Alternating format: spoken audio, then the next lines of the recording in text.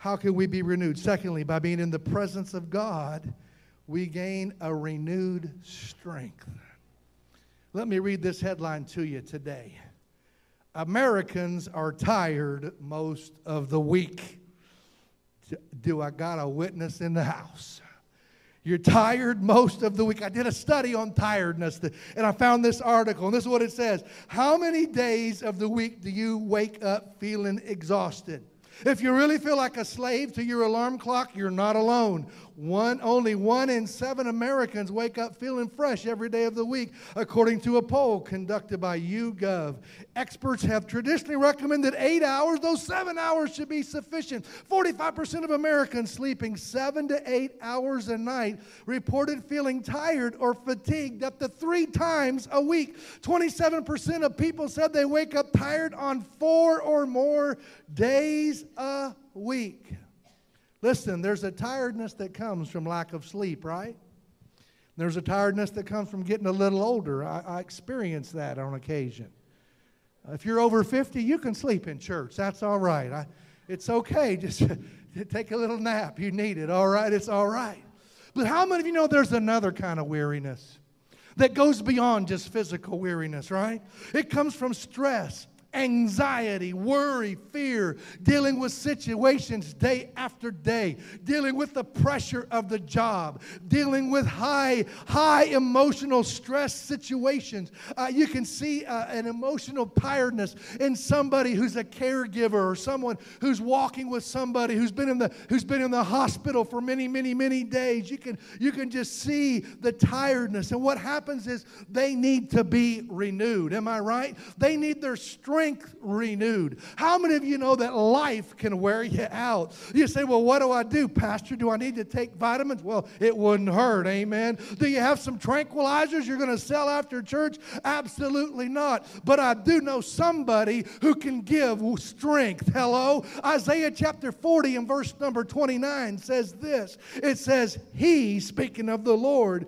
gives power to the weak, and to those who have no might, He increases strength. Come on. How many of you know that strength comes from the Lord? Strength comes from God. The long term effect of being in the presence of the Lord is you feel like the psalmist did when he said, I can run through a troop and leap over a wall. Come on. When you're in the presence of God, it renews your strength, it renews your ability to focus, it renews your ability to do what you need to to do. I've got a question for you.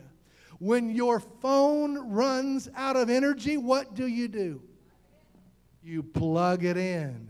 And it's interesting that you don't expect that as soon as you plug it in, it's completely charged, right? You know it's going to take some time. How many of you know that we try to put God in a little box and we want an instant God? We say, Lord, I'm going to give you three minutes this morning and you better fill me up. How many of you know that's not the way it works? God's on his own timetable. It's when you spend some time with the Lord, quality time with the Lord, in the presence presence of the Lord that you will receive his strength.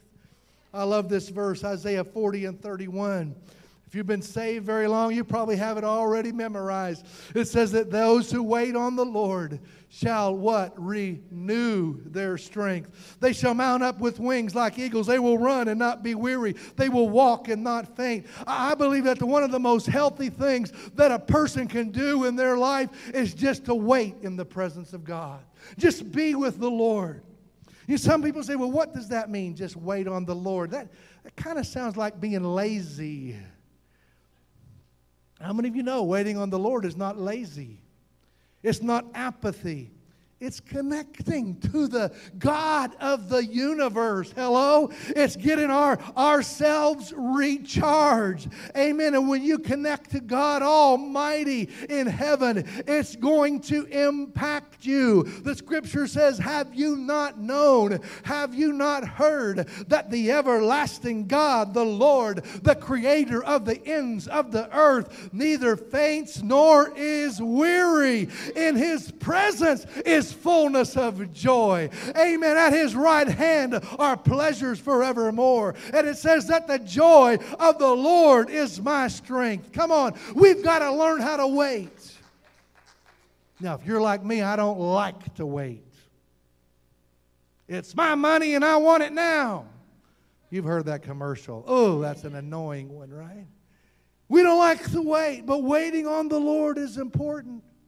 And waiting on the Lord means that we're depending upon God. Waiting on the Lord is not saying, I'm going to run out and get this thing solved all by myself. What it's saying is, Lord, I'm trusting you to do, to guide me, to lead me, to show me. I need to hear your voice. I need you to show me where to go, what to do. Come on. Waiting always includes time and patience. Waiting on the Lord is subjecting our will to his terms and his timing. And just like your cell phone was designed for periods of functionality, followed by periods of recharging and renewing, your Creator designed you in that same way. Come on. How many of you know we're fearfully and wonderfully made? We have 24 hours in a day, but you'll be stronger and healthier if you sleep for eight hours. Come on. The scripture tells us that God put a pattern in the, in the world. Six days you will work, and on the seventh day you do what? You rest. Do I have any people who like to sleep on Sunday afternoon? Amen. You're a saint then, sister, because S A I N T, Sunday afternoon is nap time. Amen. Amen. Sunday afternoon is nap time. You're a saint if you sleep on Sunday afternoons. Amen. And let me tell you, there's another thing that has to happen if we're going to be spiritually renewed that somehow during our day we connect with God Almighty. James 1 4 says this, lest steadfastness have its full effect that you may be perfect and complete, lacking in nothing. I don't know when you wait on the Lord. Maybe it's on your way to work, or maybe it's on your lunch break, or maybe you get up a little early in the morning or stay up a little late at night. But I want to encourage you come on to wait on the Lord. Amen. Put on some praise and worship music and just sit down and wait on the Lord. Go out in the backyard and enjoy the cool weather that God's going to give us. Hello. Is there anybody looking forward to cool weather? Amen. Just enjoy the blessings of God. Amen. And just sit with Him for a while and say, Lord, I need you to renew my strength. And I can guarantee you that if you're in the presence of the Lord, He'll give you the strength that you need. Come on. Can we give the Lord a big hand of praise today?